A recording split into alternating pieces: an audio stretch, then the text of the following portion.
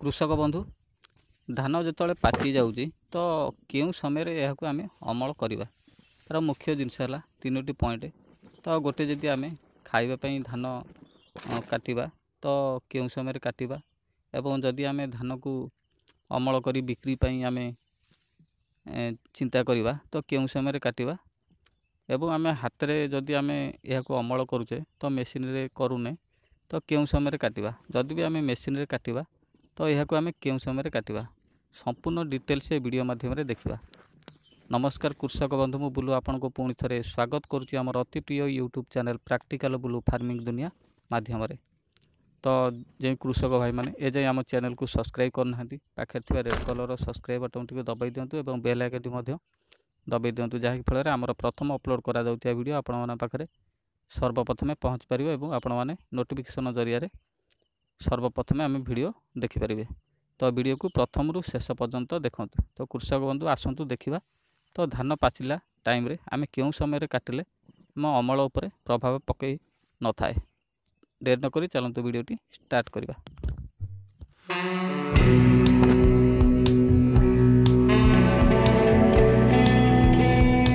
ତ କୃଷକ ବନ୍ଧୁ ତ ସାଧାରଣ କଥା ଧାନ ପାଚିଲା ମାତ୍ରେ ସବୁ ଚାଷୀ ଭାଇ ଜାଣିଛନ୍ତି ତ କେଉଁ ସମୟରେ କାଟିଲେ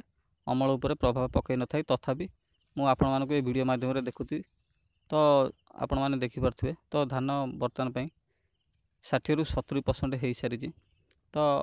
ଏଇ ଯେଉଁ ଧାନ ପାଚିଲା ଟାଇମ୍ରେ ଆମେ କେଉଁ ସମୟରେ କାଟିଲେ ଅମଳ ପ୍ରତି ପ୍ରଭାବ ପକାଇ ନଥାଏ ଏବଂ ଆମେ ଏଇ ଧାନ ଚାଷରେ ଅମଳ ମଧ୍ୟ ଅଧିକା ମାତ୍ରାରେ କରିଥାଉ ତା'ର ମୁଖ୍ୟ ତିନୋଟି କାରଣ କ'ଣ କ'ଣ ତ ଯଦି ଆମେ ହାତରେ କାଟୁଛେ ତ ମେସିନରେ କାଟୁନେ ସୁବିଧା ନାହିଁ तो से टाइम आम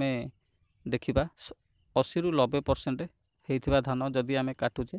धान कि नष्ट चान्स ना तो निहत रूपे जदि हाथ में आम काटा तो फिल्ड में चार पांच दिन पड़ कि रही थाए बादे आम बांधि आनी अमल करो जदि आम मेसीन काटा प्राय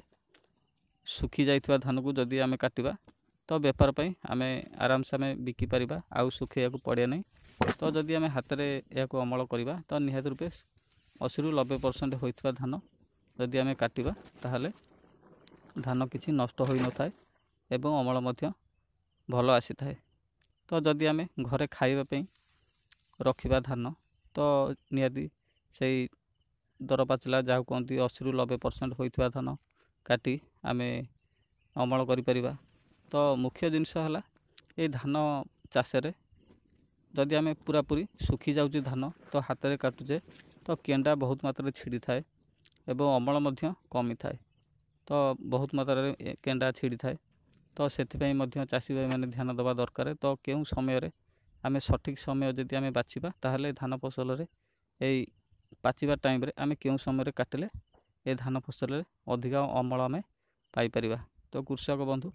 ତ ନିହାତି ରୂପେ ଆପଣମାନେ ଏଇ ସମୟକୁ ଯଦି ଧ୍ୟାନ ଦେବେ ତ ନିହାତି ରୂପେ ଧାନ ଚାଷରେ ଭଲ ଲାଭବାନ ମଧ୍ୟ ହୋଇପାରିବେ ତ କୃଷକ ବନ୍ଧୁ ଆଜି ଆମେ ଜାଣିଲେ ତ ଧାନ ଫସଲରେ ପାଚିବା ଟାଇମ୍ରେ ଆମେ କେଉଁ ଷ୍ଟେଜ୍ରେ ଆମେ କାଟିବା ତ ଯଦି ଆମେ ହାଇବ୍ରିଡ଼ ଧାନ କରୁଛେ ତ ନିହାତି ତାକୁ ଜଲ୍ଦି କାଟିବାକୁ ପଡ଼ିଥାଏ ତ ଯଦି ଆମେ ଦେଶୀ ଧାନ କରୁଛେ ତ ଦେଶୀ ଧାନ